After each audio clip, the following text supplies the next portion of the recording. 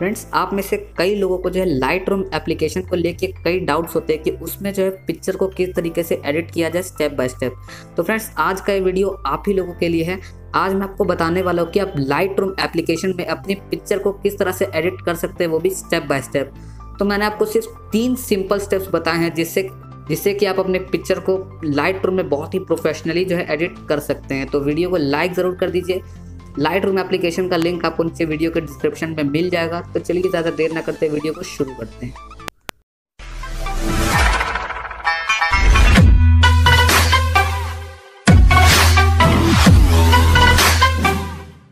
तो फ्रेंड्स सबसे पहले यहाँ पे जो है मैंने गैलरी में ये पिक्चर ले ली है। और सबसे पहले हमें इसे इंपोर्ट करना है Adobe Lightroom C application में। तो उसके लिए मैं इस पिक को जो है सेंड या फिर शेयर कर दूँगा एडोब लाइट रूम सी जैसा कि आप देख सकते हैं एड टू एल आर यहाँ पे जो है आपके पास ऑप्शन आ रहा है। तो ये ऑप्शन आपके पास तभी आएगा अगर आपके पास जो एकदम लेटेस्ट वाला लाइट रूम है, वरना आपको लाइट रूम में जाके ही ये फ़ोटो ऐड करना होगा। तो यहाँ से मैं सिंपली से ऐड टू एल आर जो है कर लेता हूँ। अब इसके बाद हमें लाइट रूम एप्लीकेशन को ओपन करना है। ये फ़ोटो वहाँ पे ऑटोमेटिकली ऐड जो है हो जाएगी। यहाँ पे मैंने लाइट रूम एप्लीकेशन को जो ओपन कर लिया, अब इसके बाद हमें ऑल फ़ोटोज़ में जाना है। और यहाँ पे आप जैसा कि देख सकते हैं, यहाँ पे ये वाली पिक्चर जो है मेरी इंपोर्ट हो चुकी है। तो यहाँ पे हमारे जो है तीन स्टेप्स हैं, सिर्फ़ तीन स्टेप्स सबसे पहला है लाइट एडजस्टमेंट तो यहाँ से जो है आपको अपने लाइट की एडजस्टमेंट करनी है। आपको यहाँ पे जो सन दिख रहा होगा, इसके बाद इसके, इसमें जाके आपको जो है लाइट एडजस्टमेंट करनी है, जो कि आपका सबसे पहला स्टेप है और बेसिक स्टेप है। तो यहाँ पे आपको क्लिक करना है और सबसे पहले आपको जो है लाइट एडजस्टमेंट करनी है। आपकी पिक्चर के लेवल को आपको देखना है एक्सपोजर इसमें ज़्यादा है, कम है तो आपको उस हिसाब से यहाँ पे जो है सब कुछ सेट करना है। तो मैं यहाँ पे एक्सपोजर थोड़ा कम करूँगा कॉन्ट्रास्ट को थोड़ा सा बढ़ाऊँगा हाईलाइट्स को यहाँ पे बिल्कुल कम कर दूँगा, और यहाँ पे मैं शेडोज़ को थोड़ा सा बढ़ाऊँगा वाइट्स को यहाँ पे मैं कम करूँगा, और ब्लैक्स को थोड़ा सा कम करूँगा। अब यहाँ पे आपकी जो है बेसिक लाइट एडजस्टमेंट हो गई है यहाँ पे आपको थोड़ा सा फ़ोटो जो है फेस जो आपको डल दिख सकता है तो आपको घबराने की कोई ज़रूरत नहीं है वो जो है हमारा कलर करेक्शन में जो है आ जाएगा। तो यहाँ पे पहला स्टेप हमारा होता है कंप्लीट अब हम चलते हैं दूसरे स्टेप की तरफ़, जो है कलर एडजस्टमेंट तो कलर एडजस्टमेंट के लिए आपको यहाँ पे जिसके नीचे जो एक आपको थर्मोमीटर टाइप का जो आपको दिख रहा होगा आइकन उस पर आपको क्लिक करना है।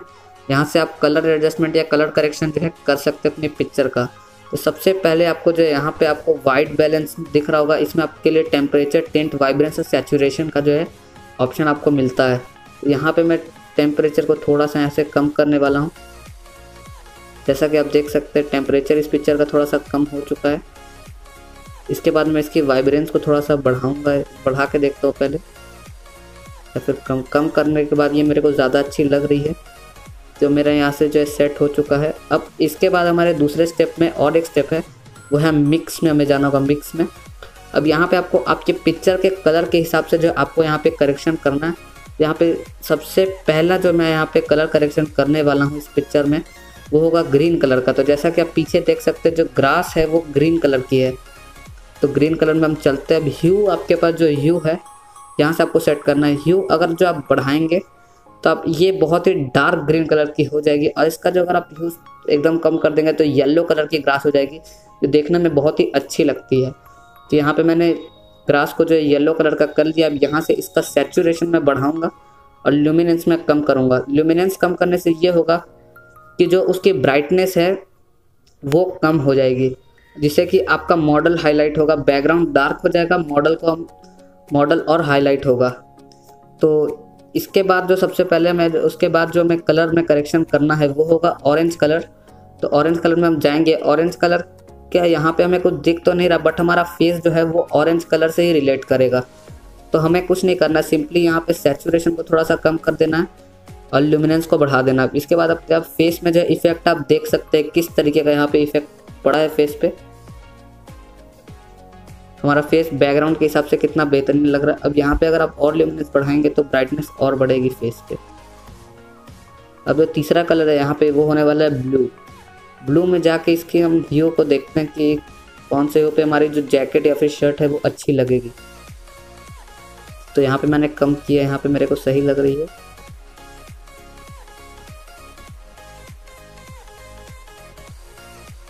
इसके बाद यहाँ से कर देते हैं डन क्योंकि जितने हमारे कलर्स थे, उनमें हमने करेक्शन कर लिए। अगर आपके पिक्चर में और कोई कलर है और आपको उसमें जो कुछ करेक्शन करना हो तो आप कर सकते हैं। अब दूसरा स्टेप हमारा यहाँ पे जो है कंप्लीट हो चुका है। तीसरा स्टेप जो है, वो है इफ़ेक्ट डालना। तो इफ़ेक्ट डालने के लिए आपको नीचे में ये वाला जो स्क्वायर टाइप का एक बॉक्स दिख रहा है, इसमें आपको जाना है। और सबसे पहले आपको क्लैरिटी थोड़ी सी पिक्चर की बढ़ा लेनी है। अब इसके बाद आपको जाना है स्प्लिट टोनिंग में। आपको स्प्लिट टोनिंग यहाँ पे नज़र आएगा। स्प्लिट टोनिंग में आपको जाना है। शेडोज़ में जाके आपको जिस, आपकी पिक्चर में जौन से कलर की शेडो होगी, उसमें आपको थोड़ा सा जो इफ़ेक्ट देना, एक छोटा सा कलर डाल के। तो यहाँ पे मैं ट्राई करता हूँ कि यहाँ पे मैं थोड़ा सा ऑरेंज शेड दे दूँ।